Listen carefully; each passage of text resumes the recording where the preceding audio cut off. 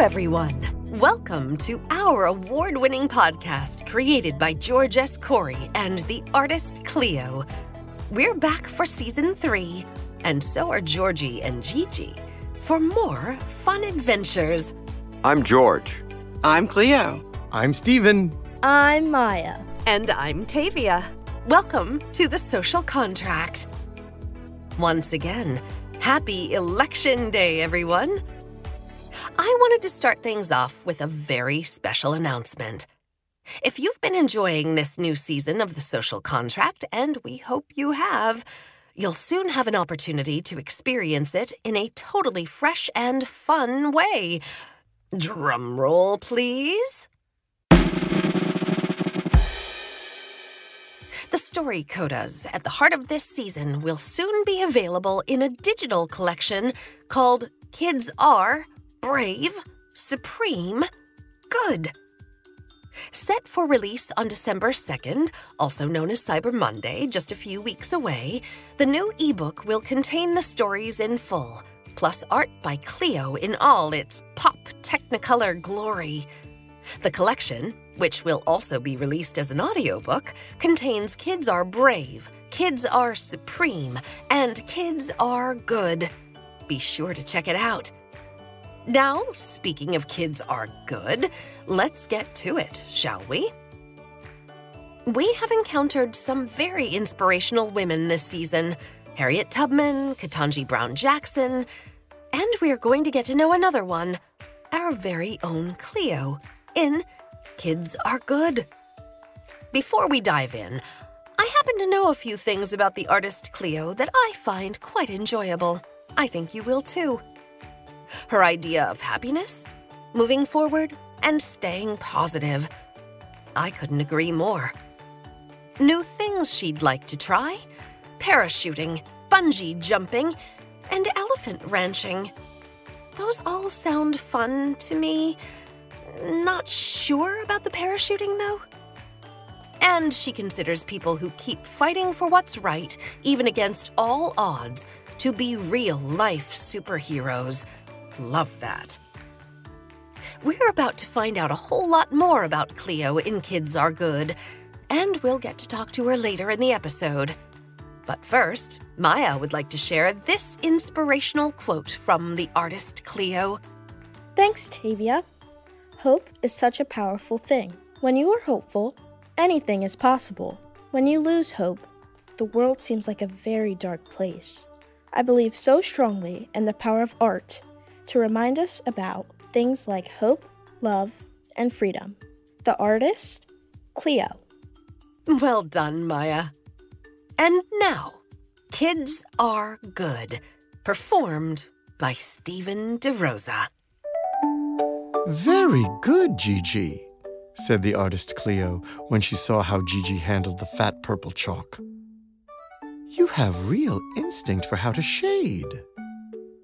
The artist Cleo was a special guest instructor in Sister Elaine's fourth grade art class and was showing the kids how to shade with pastel chalks. Georgie, you're really good at holding the chalk like a pencil. That works for thin lines and detail work. But see how Gigi holds it flat so she can shade with deep strokes? That's how you want to hold it, she instructed him. Got it, Georgie replied. Thank you, Cleo. Gigi giggled and waved her piece of chalk at Georgie. He was about to stick his tongue out at her, but caught Sister Elaine's eye and immediately went back to his sketch. Sister didn't have to say a word. A look was enough. Sister Elaine had told the class all about the artist Cleo and how they were childhood friends in Atlanta where they grew up. Gigi asked if they were BFFs like her and Georgie. Sister Elaine thought about it, then said yes, they were BFFs. They had attended the same school, belonged to the same church, and played in the same softball little league. Everybody seemed to think that we were the two best softball players, she recalled. So we ended up playing on opposite teams throughout grade school. Because the coaches wanted you to captain your own teams, right, sister? asked Gigi. That's exactly right, Georgie teased Sister Elaine in a fun, friendly way. Are you sure it wasn't to keep you from getting into trouble together? Unlike you and Gigi, we weren't troublemakers, joked Sister Elaine. The first time G&G got to see Cleo's art was when Sister Elaine took her class to a Cleo gallery show at the Children's Museum, featuring huge skateboards that Cleo had painted over with words like equality, beauty, and independence. They all loved it, especially G&G, who loved skateboarding. The artist Cleo had other recent exhibitions. Cleo's Americana, and Florals by Cleo. But Sister Elaine thought her fourth graders would love the skateboards best. And she was right. According to a brochure each of the children got to take home from the art show, Cleo is an acclaimed visual artist who creates in multiple mediums. Life is her inspiration, and the world is her canvas. Through her socially conscious creative work and civic awareness, she remains committed to inspiring young minds and nurturing tomorrow's leaders. One of the students asked Sister Elaine what civic awareness meant. Sister explained that it basically meant being a good citizen by furthering political and social issues. In Cleo's case, she was using the creative talents that God gave her to help people. For example, she started the Cleo Capital Project in an effort to foster appreciation for the United States Capitol. And she created a Metropolitan Police Department logo to honor the brave women and men who serve in uniform. When Sister Elaine told her students that the artist Cleo herself would be coming to their school to teach an art class, the kids were psyched. None more than Gigi, who was so inspired by Cleo that she had started painting little flowers and rainbows on her skateboard. Cleo walked around the room, commenting, teaching, and even joking with them. She had surprised each student with a big pad of thick drawing paper and a little tray of fat colored chalk. The kids in Sister Elaine's art class liked how, even though the artist Cleo was famous, she was nice and made each of them feel like they had potential.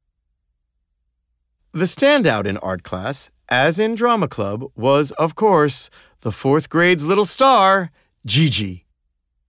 If it was creative, Gigi was good at it. Psst, Gigi, Georgie whispered to her. Are you the teacher's pet? No, I'm the artist Cleo's pet. Ha ha ha. Fancy drawing paper and brightly colored chalk were not the only things Cleo brought with her. When it came time for a snack break, she wheeled in a three tiered red, white, and blue cake made out of cake pops from a local bakery. Sister Elaine was firm in telling them that they could each take two cake pops. Then she called in the other fourth grade teacher, Sister Mary Catherine, and Principal Sister Teresa to marvel at the sweet concoction that Cleo had special ordered for the class. After the kids had enjoyed their sugar fix, it was time for word art. The projector had been loaded with slides of some of the word art pieces Cleo wanted to share with them. Georgie volunteered to hit the lights, so he jumped up out of his seat and ran over to the light switch. The room darkened as the artist Cleo began her talk. She explained that words can be powerful, both saying them and drawing them. She told the class that this word art series was inspired by a presidential history project. She had to come up with a word for each of the United States presidents and create a work of art using that word. The first slide showed the word hope in beautiful blues, greens, and purples. This one is inspired by President Barack Obama, Cleo told them. He was the first black president, elected in 2008 and re elected in 2012. His campaign slogan was one word hope. And that word really captured the moment because people, by and large, were excited about the future and its possibilities. The next slide was a quote from President Obama. Cleo encouraged the kids to read it aloud along with her. Hope is that stubborn thing inside us that insists, despite all the evidence to the contrary, something better awaits us, so long as we have the courage to keep reaching, to keep working, to keep fighting. The next slide was courage in vibrant blues, pinks, and yellows. Cleo explained that President John F. Kennedy, or JFK for short, had shown great courage as a war hero during World War II before becoming a congressman, then senator, and eventually the President of the United States. He even wrote a book called Profiles in Courage, which had a young reader's edition for kids their age. She told them that when JFK was inaugurated, he gave a speech in which he said, Ask not what your country can do for you. Ask what you can do for your country. This was one of the artist Cleo's favorite quotes. Next up was No Fear. Big purple letters stretched across a golden yellow background. She explained how her inspiration for this work was President Franklin Delano Roosevelt, who, in his first inaugural address, famously declared, The only thing we have to fear is fear itself. They loved how the two bright blue dots that Cleo had placed right in the middle looked like eyes. Cleo explained how Roosevelt's bold leadership guided the nation through such difficult times as the Great Depression and World War II, which is why she chose to pay tribute to him with such a bold work of art. Georgie's grandma Marie always referred to Roosevelt as FDR, which he thought sounded cooler. When he told Cleo, she laughed, saying, And it's a lot quicker to say. Then she told the children about the other President Roosevelt, FDR's cousin, Theodore Roosevelt, and projected the word strength, with the letters stacked like building blocks. She explained to them that while Teddy Roosevelt was known for being physically strong, even more important was his strength of character. The teddy bear was named after him because he refused to shoot a young bear in the woods during a hunting trip. Cleo's modernist interpretation of freedom was next.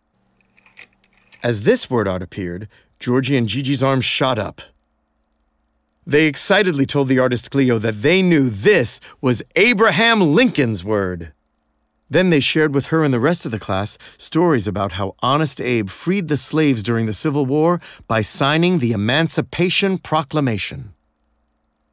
The word art inspired by the first president, George Washington, came last truth. It was groovy. The artist Cleo had arranged the letters in a bright yellow ball outlined in blue against a shock of magenta.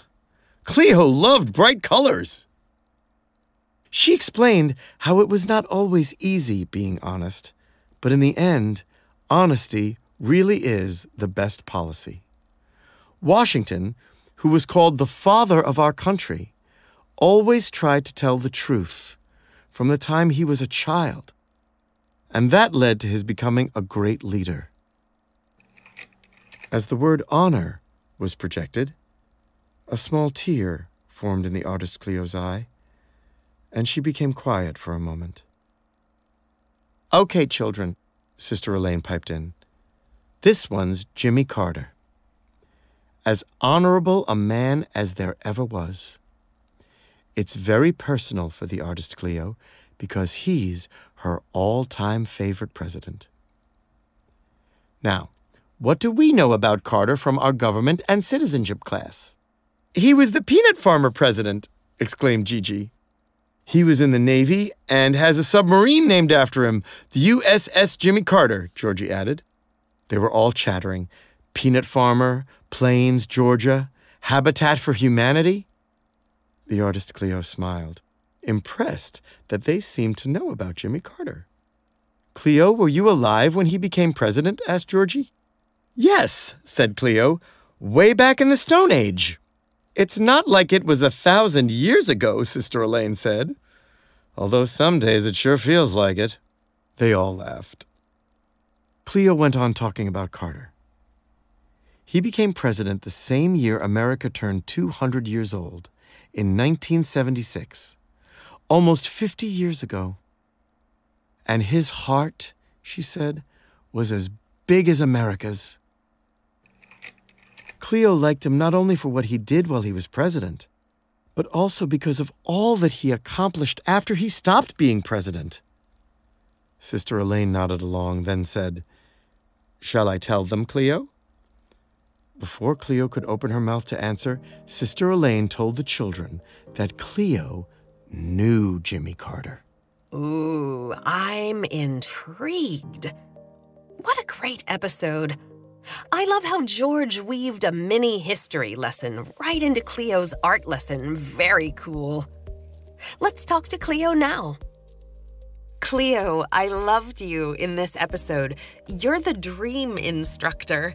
Not only are you patient and encouraging, but you come bearing sketch pads, drawing chalk, and three tiers of cake pops. that is amazing. I want to know how many cake pops can I have? And also, how does it feel to be the star of this episode? Well, you can have as many cake pops as you want. I understand that's based on a true story. Yep. You and George came into a book signing with an actual three tiered cake made out of red, white, and blue cake pops. That's totally appropriate for election day. I definitely need to hear that story. What in the world? a friend of ours owns a cake pop store. that's how this cake pop thing. So she's a what she calls reformed lawyer. Um, we've really become close friends with her, and so that's how the cake pops got to the election. Was well, we've got to go in. We got to take something. So we tell her that we've got these events and we'd like them to reflect this or that. And so for election day, she came up with this three tiered cake pops, and they um they're always a hit. Apparently, I love it. George, I have a question for you. We have a most welcome addition to Georgie and Gigi's fun world this season. Yes. Sister Elaine. And yes. we've gotten to know her throughout the past couple of episodes, and now we learn that she and the artist Cleo were besties. So, Sister Elaine is such a well drawn character. I feel like she must have been based on a real person. Did you have a Sister Elaine when you were a kid in school?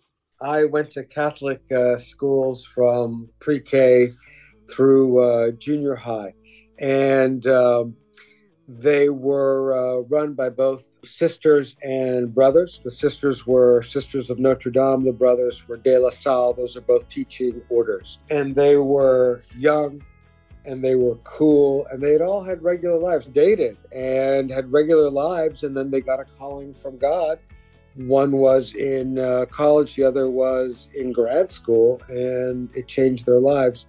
So, Sister Elaine is sort of a combination of the two types of people. There's one specific sister, one specific brother, and I had one person in mind who kind of looks like uh, Sister Elaine, you know, in my mind, and who was that active and fun. So, they meant a lot to me, all these people, and they really did. Uh, uh, make a difference in how I looked at the world. And I've been dying to bring in a Sister Elaine to this story, especially with the rulers and the uh, whistles and everything else. So, anyhow, great. It's great.